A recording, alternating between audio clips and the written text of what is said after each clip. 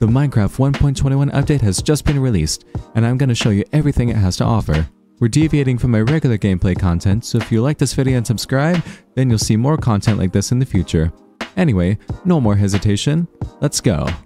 So the Tricky Trials update has a lot of new features, so I designed this little museum to showcase each one. That of course includes a number of new blocks, and first off, we're going to take a look at Copper. Now copper of course was added as early as back as 1.17, but this update brings a number of new variants to the game. So here we have the copper door and trapdoor and all of their oxidized variants. Much like the other copper blocks, you can craft them or find them naturally spawning in the trial chambers below ground. And then behind me, we have the copper bulb. Once you turn it on with a signal, it stays on until you send another signal its way. Also notice how, uh, let me turn these on real quick. Also notice how as each one oxidizes further, the light also gets a little bit dimmer. And then over here we have the copper grate and chiseled copper. Uh, these are especially decoration blocks that again can be found in trial chambers. They got some cool designs on them and I think that the whole set is honestly perfect for like a steampunk type build and sort of aesthetic. Yeah. We also have a bunch of new effects added to the game as well. These can all either be made from potions or produced by ominous trial spawners during combat.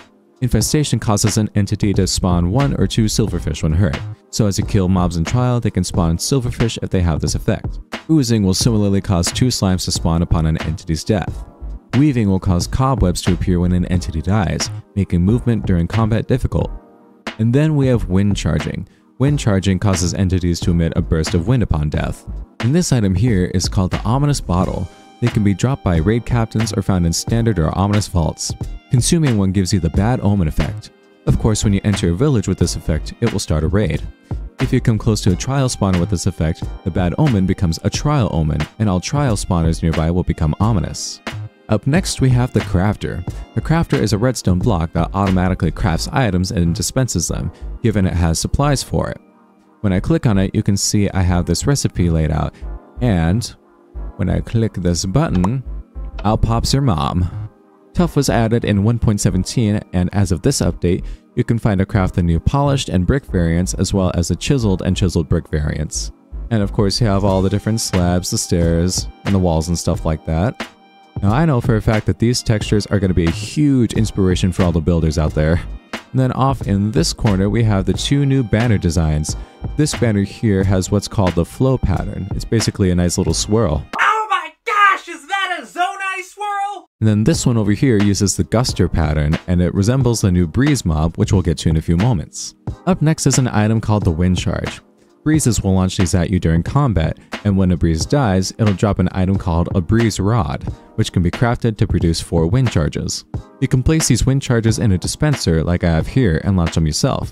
I've seen people experiment with this for things like obstacle courses, so it'll make for a really interesting use when it comes to game mechanics. If we step over here, this is what a wind charge entity looks like up close.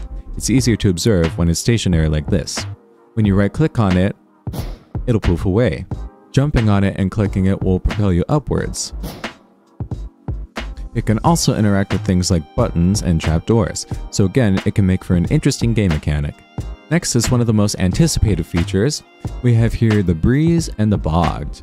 Both of these guys will spawn in trial chambers when you're in proximity to a trial spawner. Breezes will attack by jumping around you and launching its wind charge projectiles at you, and any projectiles launched at it will be deflected. As I stated before, they drop a breeze rod upon death. The Bogged will attack much like their fellow skeleton variants, except the arrows it shoots are tipped with poison. They spawn not only in trial chambers, but additionally in swamps and mangrove swamps. Upon death, they have a chance of dropping a poison arrow alongside normal arrows, a bow, and bones, and you can also shear the mushroom sitting on top of its head. And then over here we have the Trial Spawner and the Trial Vaults. The Trial Spawner can be found in Trial Chambers and, much like normal spawners, cannot be obtained with Silk Touch or a Piston. You can tell what they spawn by looking at the block pattern on the floor around it. Trial spawners also have an ominous variant, which means that it gives better loot and spawns more difficult enemies than its traditional counterpart. If a player has the Trial Omen effect, the ominous variant will replace this one. When active, the corners will light up orange or blue depending on which variant you encounter. In order to beat the spawners, you must defeat all mobs before it can dispense any loot. Trial vaults can be opened with trial keys that are obtained from beating these spawners. Regular spawners will drop ominous keys, which are used to open this version, while the ominous ones will open the ominous version. Vaults have a wide range of loot, some of which includes new items that we'll get to shortly. Another one of the new mobs, which also happened to win the mob vote, is the Armadillo. Armadillos can spawn in Savannah and Badlands biomes. It'll roll up into a ball whenever its damage is nearby an undead mob, such as the Bogged over there, or when a player sprints past it. Every so often, it'll drop one of these scoots, and obtaining 6 will let you craft wolf armor. Using a scoot on wolf armor will heal it if it's damaged. Next, we have the Trial Explorer map. These maps can be obtained by trading with a journeyman level cartographer. Much like its other counterparts, these maps will help you find a trial chamber. Luckily, I found out that I was close enough to one of these even after I started building this location. These maps are a big help, but trial chambers will still spawn underground, so a little bit of digging is required. Over here, we have two new armor trims, the Flow and the Bolt trim. As you can see, I used netherite to emphasize the Flow trim and gold for the Bolt trim. Both of these trims can be obtained from vaults and trial chambers. Bolt trims are found in standard vaults, whereas Flow trims are found in ominous ones. Up next, we have the Heavy Core. Heavy cores can be found in trial chambers and can be mined if you use a pickaxe. Combining a heavy core with a breeze rod will get you the mace. Now the mace is really interesting because while by itself it only deals 6 points of damage, the damage that this thing can do is magnified if it's used while falling. The greater the fall, the greater the damage. So let's demonstrate this real quick. So in this demonstration, I am just over 50 blocks above this iron golem, and this height should be just enough to one-shot him if I can do it correctly, that is. So wish me luck. Uh-oh. Uh-oh. okay. That was too close. Try that one more time. Okay, one more shot. There we go. The next feature we have are these brand new music discs. Two of them are by Lena Raine, creator and its music box version, and the other one Precipice by Aaron Cherof. All these are fairly rare drops that can be found in the trial chambers, so Precipice can be obtained from standard vaults, Creator in ominous vaults, and the music box version from decorated pots. So I'm going to give you a little taste of each one starting now.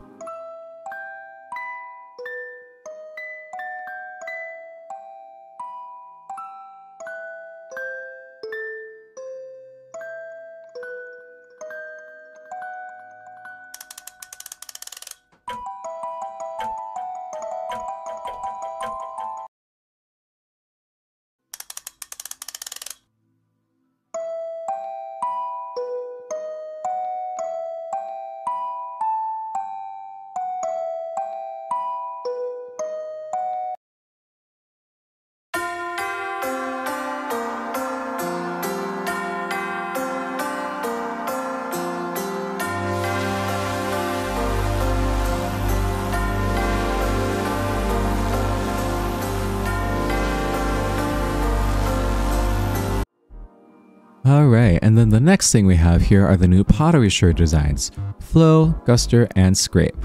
Flow and Guster are just the designs from the banners that we saw before, the Swirl and the Breeze. The Scrape design depicts what appears to be an axe. All these can be found by breaking decorated pots and trial chambers. Of course, we can't talk about the update without talking about the new paintings, so these are all five that Sarah Boeving has done. And of course, we can't forget about Mr. Zetterstrand, He's done 15 paintings for this new update, bringing his total up to 40 paintings in Minecraft.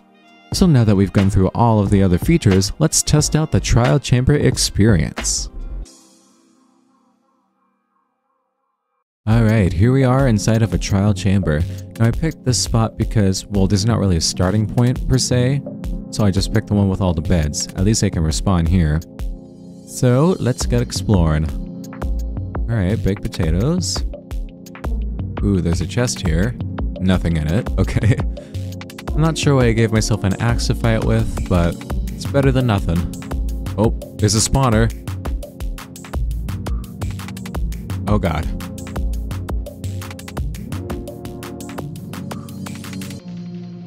Oh man.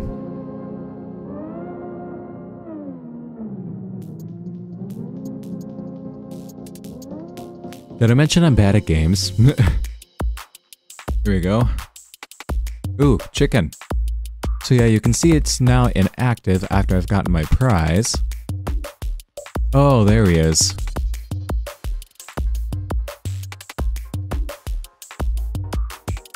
And we got a breeze rod. Neat. Oh boy. oh. There we go. And it gave me more chicken. Let's check out the rest of this place. I wonder what else is in store. Ooh, alright. So yeah, we can start looting things here. Ooh, diamonds and stuff. We got our Guster Shard.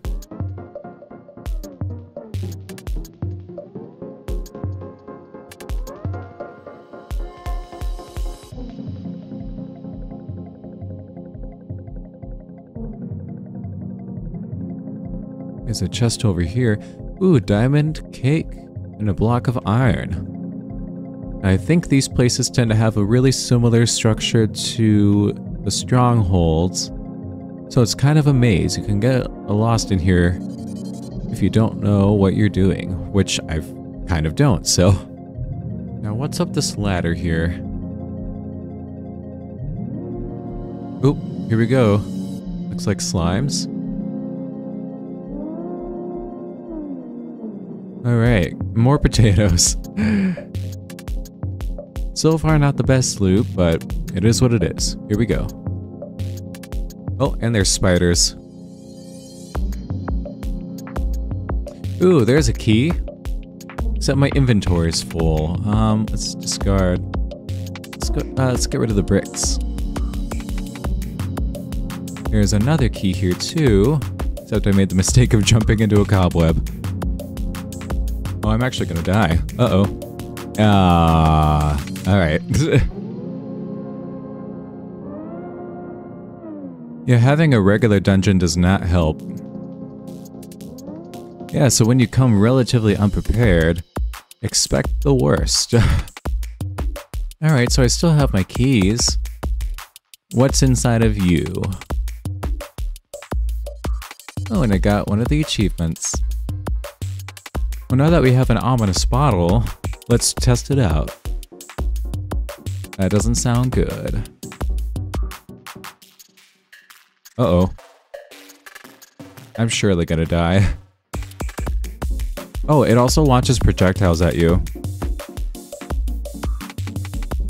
Hmm. Something is broken. Yeah, I'm very dead. I'm just gonna retreat. That was a bad idea. It was a bad idea to come so ill-prepared. Even though I gave myself, oh, I guess I could always go back and get more.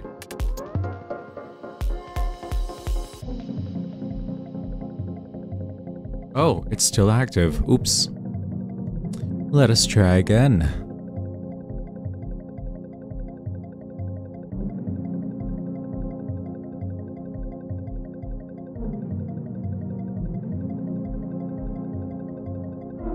Whoa. Okay. I don't know why that's happening. I guess I put the command box a little too close to the, uh, the combat zone. Oh my.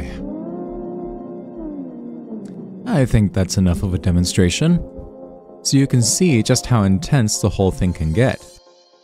So that's been the Tricky Trials update. If there's anything I missed or got incorrect, please comment below. It helps everyone. I'm really excited to play it and see what people can do with its content now that it's out. Go ahead and try it for yourself. And if you enjoyed watching this video, make sure you like, comment, share, and subscribe, and to hit that little notification bell to stay up to date on future content just like this. My name's Peyotic, signing off. Bye!